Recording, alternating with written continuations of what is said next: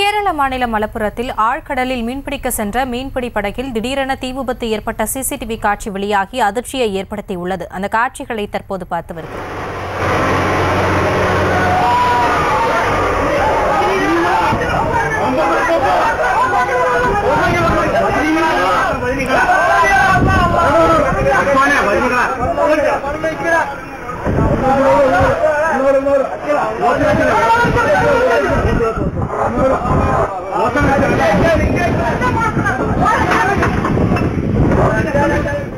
இது குறித்த கூடுதல் விவரங்களோடு இணைக்கிறார் எமது செய்தியாளர் விஜயசங்கர். விஜயசங்கர் தீ விபத்து எப்படி ஏற்பட்டது? யாருக்கேனும் காயம் ஏற்பட்டிருக்கிறதா? விவரங்கள் என்ன?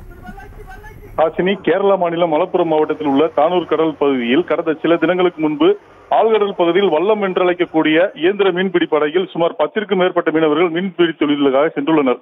வழக்கமாக ஆழ்கடலில் மீன்பிடிக்க செல்லும் மீனவர்கள் ஒரு வார காலத்திற்கு மேல் கடலிலேயே பயணம் செல்லும் சூழ்நிலை உள்ளதால் தாங்கள் அங்கேயே படகிலே தங்கி செல்வதற்காக உணவு தயாரிப்பதற்கான உபகரணங்கள் அனைத்தையும் எடுத்து செல்வது வழக்கம். இதுபோன்று இந்த முறை அவர்கள் மீன்பிடிக்க தானூர் கடல் பகுதிக்கு சென்ற பொழுது மீன்பிடி தொழிலில் ஈடுபட்டு வந்துள்ளனர்.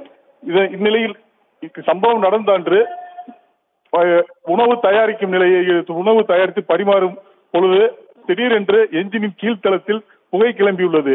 அது என்னவென்று மீனவர்கள் சென்று பார்க்கும் நிலையில் சுமார் எட்டு அடி உயரத்திற்கு மேல் நெருப்பு கிளம்பி அனைவரையும் அச்சத்தில் ஆழ்த்தியுள்ளது.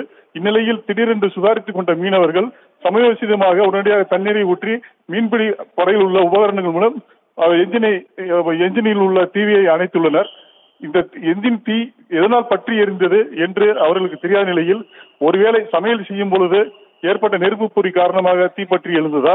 அல்லது என்ஜினில் ஏற்பட்ட கோளாறு காரணமாக தீப்பற்றி எழுந்ததா என்று தெரியாத நிலையில் சமயோசிதமாக செயல்பட்டதால் உயிரிழப்பு தவிர்க்கப்பட்டு படகு நிறுத்தப்பட்டு தீ அணைக்கப்பட்டது ஹாசினி விவரங்களுக்கு நன்றி விஜயசங்கர். செய்திகளை உடனுக்குடனும் துல்லியமாகவும் தெரிந்து கொள்ள சப்ஸ்கிரைப் பண்ணுங்க.